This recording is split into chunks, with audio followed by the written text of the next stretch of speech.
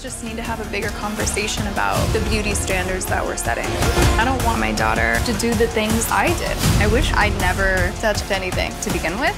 Hi guys Kylie Jenner, the youngest member of the Kardashian Jenner clan, has been known for her ever-changing appearance over the years, but in a recent interview, the reality star and beauty mogul admitted that she wishes she had never gotten any cosmetic work done. Jenner, who first admitted to getting lip fillers back in 2015, revealed that she initially turned to cosmetic procedures to address her insecurities. However, the constant public scrutiny and pressure to maintain a certain image only added to her anxiety. In the interview, Jenner opened up about her regrets, saying, I'm not saying that I didn't like the results of my cosmetic work.